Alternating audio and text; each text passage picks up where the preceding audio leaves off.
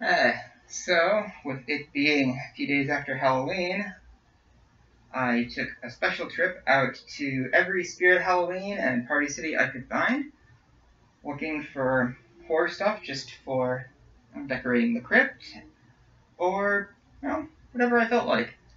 And so we ended up with a surprising amount of decent stuff. So, uh, let's get started. So, we found a prop bag so it's it's basically just like a treat bag, but it's Sam's bag from Trick or Treat of a movie on our book here. And you know, it's actually a pretty decent like prop. Like I can sling it around like this. And it was I think it was nine on sale, which is still kind of a lot. Um, but if you're going out to your Spirit Halloweens as they're just now starting to wrap up, this is probably something you'd want to look into picking up. So we got this belt holster thing, which we tend to want on a lot of different costumes, but uh, we haven't cracked it open try it out yet.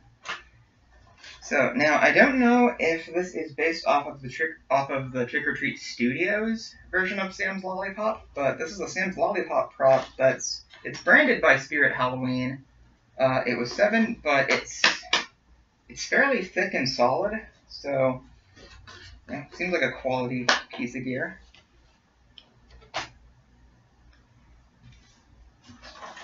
So then we have these kind of cool things. So they're the little Michael Myers lights that apparently do not light up because the batteries are dead yet again.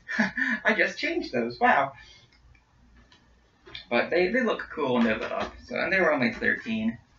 Uh, the worst part is though, like I didn't know they took batteries. Like I thought you just plug them in and I could add them to you know the strips that I've got in the background here.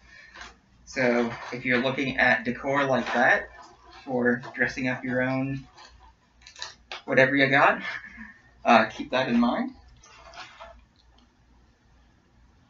So I also got this hanging skull for five dollars, which will probably go uh, off with some other hanging heads that are just off camera.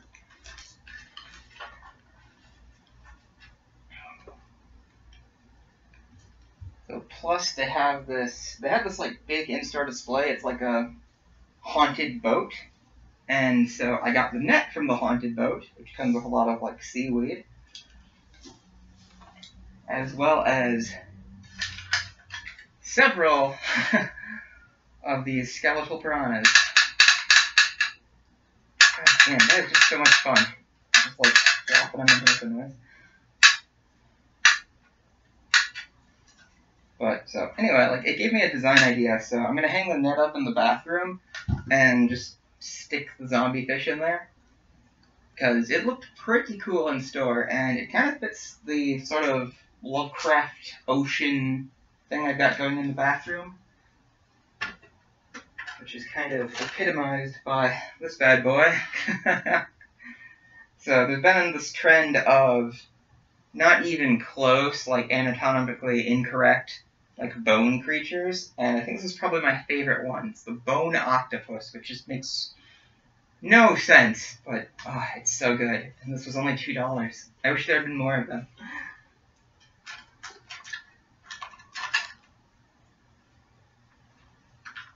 Had these arranged a little different earlier. Uh, but now, moving on to the good stuff. So, we got this Michael Myers wall cling, which we can replace our completely sun-faded Beware of Dog sign in our window. Which, uh, you know, still applies, just, uh, you know, they don't need to know that. And so I tend to wear out lanyards pretty quick, and they had a couple of, you know, just fun ones. I think these are the same kind you can find at like Spencer's or something. But you know, at least they were like marked down. So we got a Nightmare on Elm Street one. Comes with like a little Freddy glove keychainy kind of thing. So and like a thing for your ID. Uh, Friday the Thirteenth one, same thing, except you know Jason mask. Uh, what's nice about these is they have like this detachable part for the keys. which fits with how I use, well, my keys. uh, and they don't have this stupid detaching thing at the top, which uh, uh, I need. I need my lanyards to be solid and not have that because of like how I wear them. And that was mostly a distraction to get to like the really good stuff. So they had this. Uh, this was seven on clearance, so it's like a metal. It's a metal sign poster of for the first Friday the Thirteenth poster, and it's pretty good quality. It's like a little bit embossed at the bottom, uh, and this was definitely one of the nicer things they still had. And then moving on to the real prizes, masks, which there were still a handful of masks there. So this is the Trick or Treat Studios Skinner mask, which was I think 30 something after markdown. Um, now, at first I was disappointed that it's just like a front mask, like it doesn't have a back of the head, but I think it actually works better that way. So this mask is supposedly a tribute mask, like each piece is from a different version of the Leatherface mask. So let's get it on here.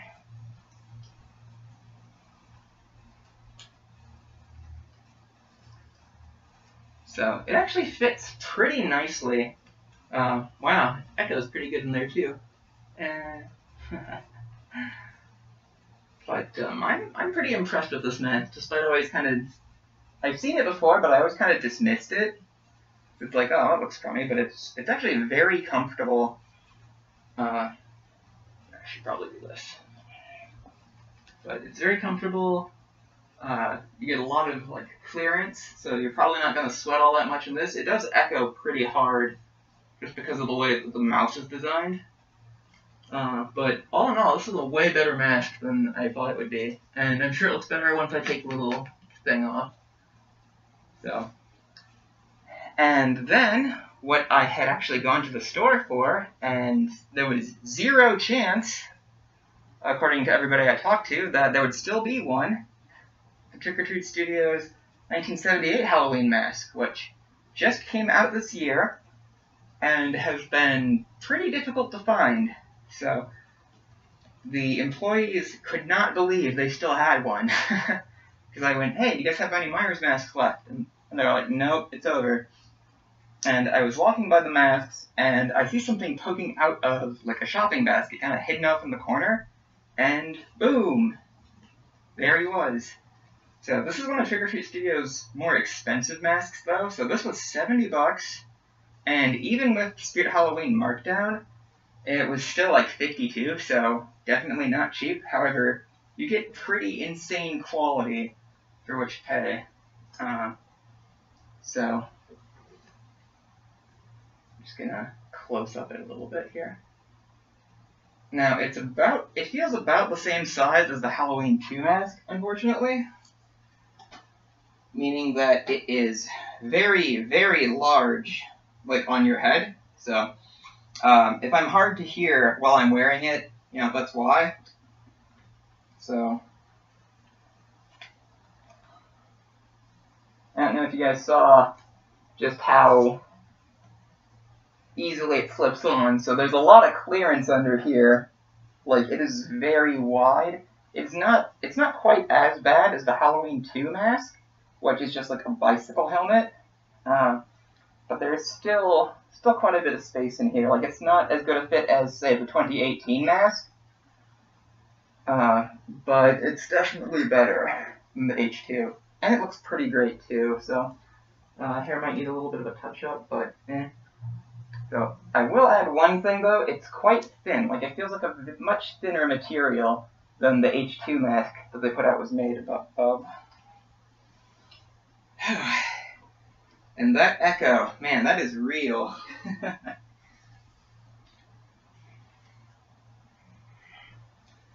but so, uh, yeah, uh, get the Spirit Halloween when you can, because you never know what you're going to run into. Plus, I think starting today, which is the 3rd, everything there is half off. So, yeah. Uh, another thing though, make sure that they actually take the half off of everything because I think because looking at my receipt it was like feels like I spent way too much. And then looking at my receipt, like they didn't actually mark down most of the fish, so it was like ah. So, but yeah, get out there to Spirit Halloween, Party City, and good luck hunting. So, like, share, and subscribe, and we'll be back uh, with some reviews or something at some point soon.